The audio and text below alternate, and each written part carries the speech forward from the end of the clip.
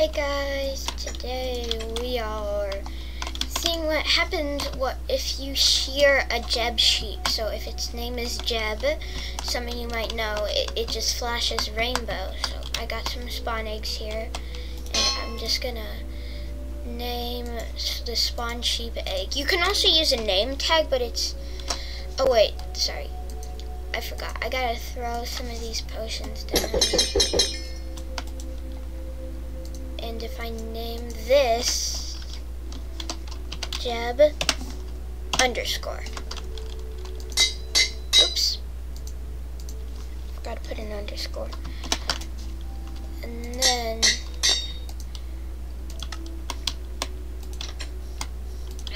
I'll do this and look it's flashing rainbow. So if I just shear it, it gives me white wool? I thought it'd give me like rainbow special rare. So, yeah.